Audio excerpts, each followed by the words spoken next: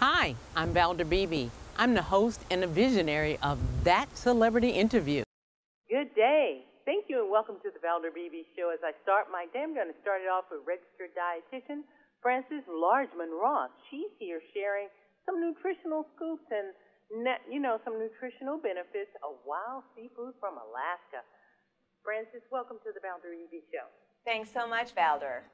All right. So tell us about these nutritional benefits of wild seafood from Alaska, and what are we saying when we say wild seafood?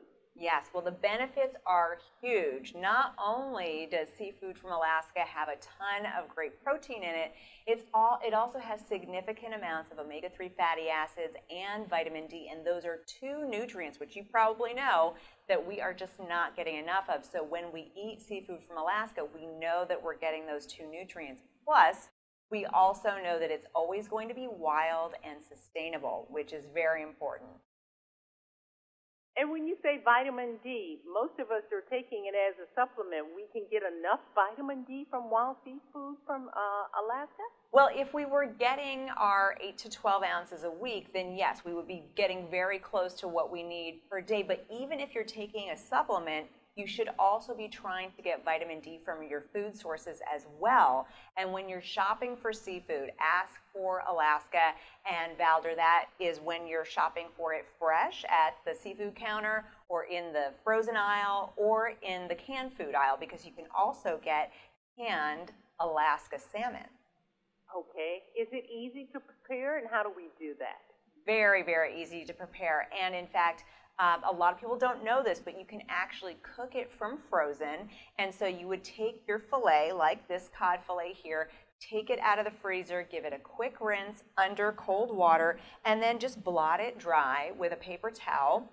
And then you can use whatever your preferred cooking method is, whether that's pan searing, oven roasting, grilling, or even air frying.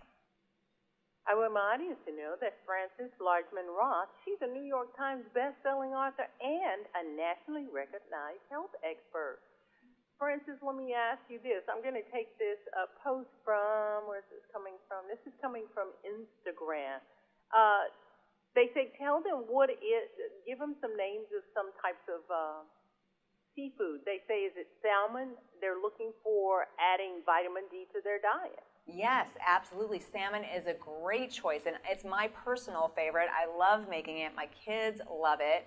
And it's also, to me, a very forgiving fish um, to cook. You know, you can't really dry salmon out very easily, but also cod is a great choice from Alaska. We have pollock, Here's the beautiful salmon over here. And then don't forget the king crab legs. They are so delicious and beautiful. And then this is also um, the cod right here. So lots of different options from Alaska. And if people want to learn more, they can go to wildalaskaseafood.com.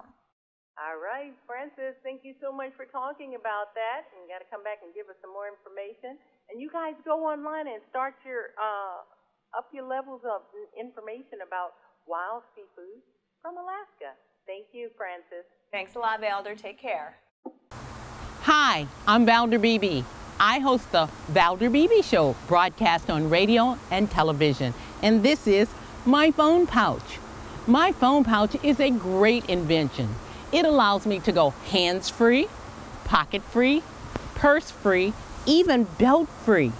Head on over to myphonepouch.com.